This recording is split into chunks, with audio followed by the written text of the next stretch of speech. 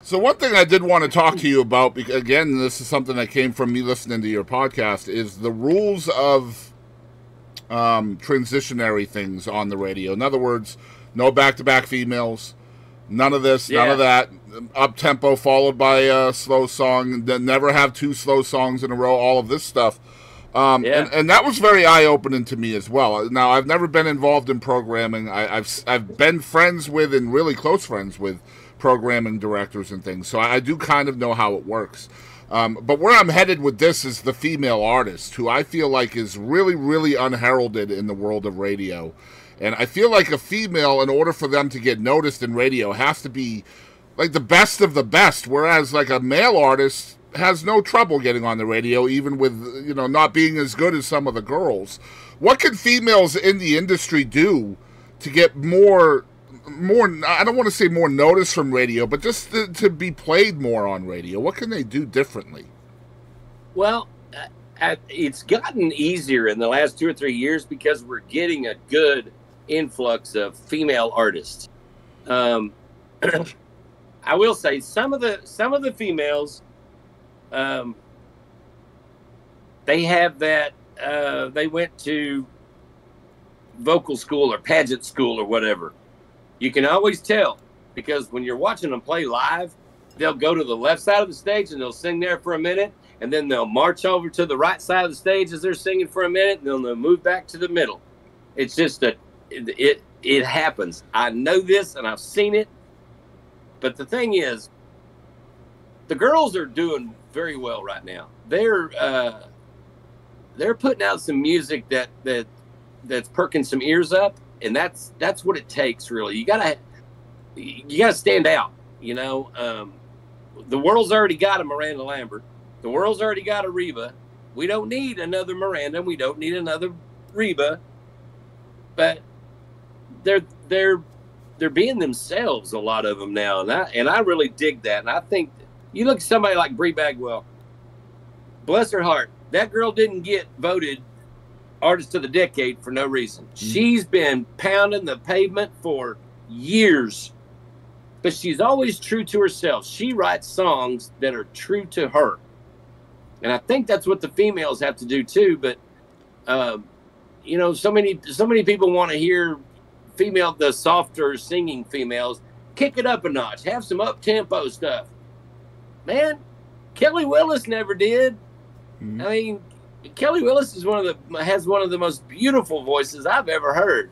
She didn't have a bunch of that rock stuff and all that crap behind her back, you know. I mean, I think the females are doing what they more of them now are are being themselves, and that's what they got to do. You just got to be yourself. That's the thing about the Texas music. Be yourself. You know, yeah. you can write songs about if you're if you literally grew up sitting out in the country on your tailgate, listening to the radio, drinking cold beer with your buddies, that's believable. Now, if some Nashville cat that comes from New York sings that to me, it ain't believable to me. You know, but the songs have to be believable. And the girls are doing a really good job right now of marketing themselves and with themselves together too. And that's that does a lot of a lot of good too, you know, because um, you know how it is. Them chicks stick together, man. So yeah, they, it's definitely gotten better um, since since yeah. I started interviewing in 2016. It's definitely gotten better. You see, you see more um, women artists on the charts, which means they're being played more, and that's good. Yeah. I just, I, I yeah. just wish they had more of a, an equal chance um, because there are a lot of unique uh, female artists in Texas that don't get any love whatsoever from radio. And it's funny you, you, talk about you know don't be a clone. We already have a Reba. We already have a, a Miranda. I mean, I yeah. would I would flip that uh, to look at males. We don't need more George Strait clones, and there's dozens no. of them on the radio in Texas. Oh, so yeah. I feel I feel that's like true. the males don't have to be as unique as females to get noticed, and that's unfair to me. I feel. No, but you know what I've always said it's all about the song.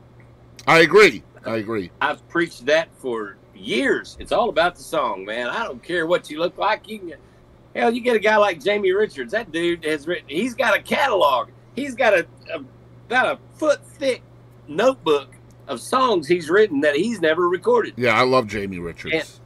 And, and man, he is like I call him Mr. Country Music. He's our modern day Merle Haggard, man. I mean, but guys like that, he'll he could show up in a t-shirt and his tennis shoes, which I've seen him do that, and nobody would know. and just sit down and sing, you know. Um, but it it's all about the song, man, and how you present your song.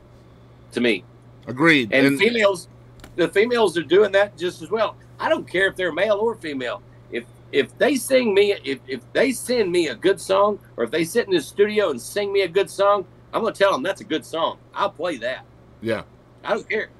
And you are that's why like I wanted to ask you that cuz you are one of the few that I feel um, in the industry that is a champion of female artists. Um, and Yeah. so definitely wanted to get you um, on the record talking about that because uh, Yeah, absolutely. yeah. I think I, I think that I mean, because God, who wants to listen to a radio station all day long of nothing but dudes? You know, I mean, Not me. That's it. for sure. But like it, Right. it was really eye opening to me though to hear you say that you weren't allowed to play back to back girls. And well, that was because back in those days when I was taught uh, programming and stuff like that by Eric Logan and Dave Dodson and those guys, like that, Mike Crow, we uh, that was the that's the old school way because there weren't that many females, and you didn't want to burn up all of your all of your female songs because you wanted those sprinkled into the hour. You don't want them back to back, you know. So that was just kind of the general rule back in the '90s, man. Is like you just didn't play two females back to back, and then and the old school rules of no, no, you know, no two slow songs back to back, and which I can understand that because God, I wouldn't Yeah, yeah, listen yeah. to that myself. so those rules are obsolete now then, right? So they don't exist anymore?